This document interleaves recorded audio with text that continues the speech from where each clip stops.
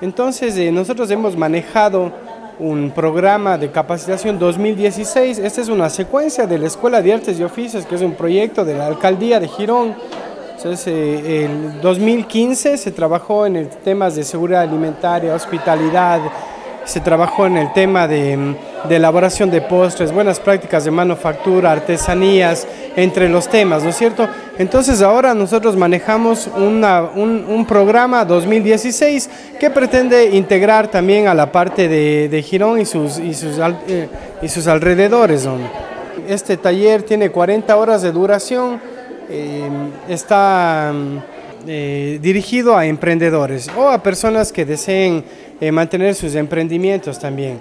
Todo en torno al, rescate del uso de, las, eh, de, los materiales, del uso de los recursos que, tiene que la zona de Quirón. Por ejemplo, el tema de gastronomía hemos pedido hacer la, la gestión con INB Minerales que nos proporcione el facilitador. El municipio proporciona todo lo que son las instalaciones, los insumos para, para para la elaboración de cada uno de los platos. Bueno, aquí la idea de estos talleres ha sido para eh, venir con nuevas recetas para que las personas puedan aprovechar mejor los productos de la zona, como son el sambo, el zapallo, para que también se recupere el uso, por ejemplo, de la quinoa, del amaranto, que son eh, productos ancestrales, pero que desgraciadamente se ha perdido el uso en nuestra... Eh, en nuestra cocina diaria, entonces es para recuperar todo ese uso de hierbas como la pacunga, por ejemplo, que solo se da al cuy y que ahora ya le hemos utilizado en sopas con un muy buen efecto. Aquí es una zona que produce bastantísimo sambo, toda la zona de la Suay pero desgraciadamente llega un punto en que el sambo, como hay tanto, no se le aprovecha como se debería, a pesar que es una fuente muy grande de vitaminas y minerales. Además tiene mucha cantidad de agua, lo cual nos facilita digestión y todo eso es un producto muy saludable. Y prácticamente solo se le utiliza en guisos, en sopas y nada más, cuando podemos hacer un cien número de platos como es el tamal de sambo y aprovecharlo y dar eh, otro uso al, al sambo. Eh, sabe que para mí ha sido muy grato encontrarme con este grupo aquí de personas de Girón. Eh, hay hombres que están participando en el taller de gastronomía, lo cual no es muy usual en, mis talleres.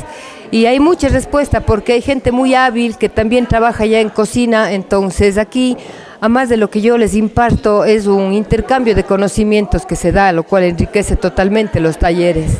Sí, también sinceramente estamos aprendiendo mucho y yo creo que vamos a aprender muy bien, entonces al menos, al menos que yo tengo un local, entonces vamos a promocionar bastante y para que, que resulte lo mejor. O sea, más o menos lo que es, lo, que es en sopas, para me promociona bastante, entonces gracias a Cachivita también que nos está ayudando bastante.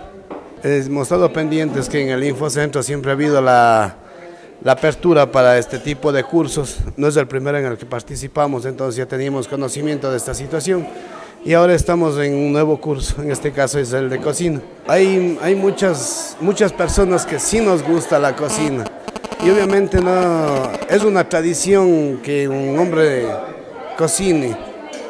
Todo, todo un siempre, usted ve chefs, son cocineros, ¿ya?